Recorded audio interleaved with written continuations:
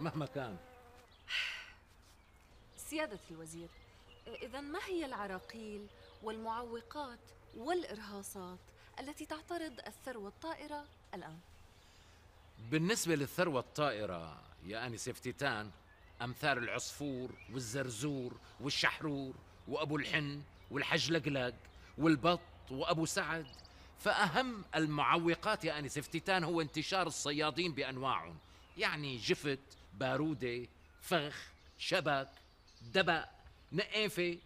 يعني هالصيادين هدول ما خلوا ولا ولا ولا طير يطير بالسماء.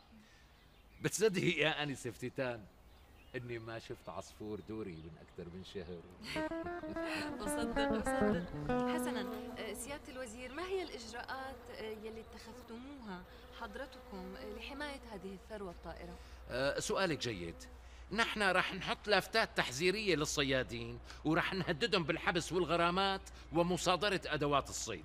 جميل جميل جدا إذا ما هي العراقيل يلي بتعترض زيادة هذه الثروة العسلية؟ الحقيقة العراقيل كثيرة أهمها أهمها انتشار انتشار الزنابير الحمراء التي نسميها بالعامية دبابير ولك يلعن أخت النحل عرس على أخت المقابلة شو مشؤومة؟ عم شو إني حمار جحش معبب بنطلون يعني كان ضروري إختار هالمكان؟ آه، سيداتي سادتي نعتذر عن هذا الخطأ الفني الطارئ ونعود بكم إلى استوديوهاتنا لمتابعة برامجنا من هناك فإلى هناك.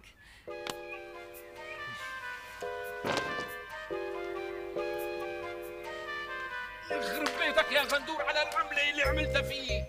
يا سيدي ما عملت شيء مثل ما طلبت مني سويت. ولك خراس لك مين جاب النحل الشرس لل- للمنحلة بجوز اللي عضتك مو نحلة بجوز دبور متسلي الغريب. لقربك وحدة تسهل أمرك. وين بدي ودي وشي من الناس هلا؟ وين؟ عادية عادية ما حكيت شيء شلون ما حكيت شي بقى؟ وهالمسبات اللي طلعت مني قدام العالم وسمعوا الملايين ولك آخ يا سواد وشي قدام الجمهور. يعني شو بدهم يقولوا عني؟ أكيد رح يقولوا شو هالوزير اللي يلي لسانه فلتان مثل زعران الشوارع. آخ لا حول ولا قوة إلا بالله. أنا تبهدلت يا غندور. شرشعت. محشوم محشوم محشوم سيدي. اخراس هلا اخراس ناولني هاللحشة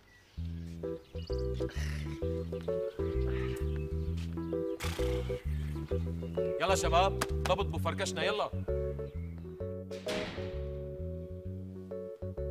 سميرة. يا سميرة. نعم حبيبي. أنت إمتى سكرتي التلفزيون؟ طفيته من شي عشر دقايق. اسكت يا أبو الجود اسكت كان طالع برنامج كوميدي بيطير ضبنات العقل. اشتهيتك تشوفه. يا لطيف شو بيضحك؟ بضحك لك أخ أخ. شو أبو الجود ما بدك تاخذني نتغدى بشي مطعم؟ لا لا. ناقصني فضايح يعني.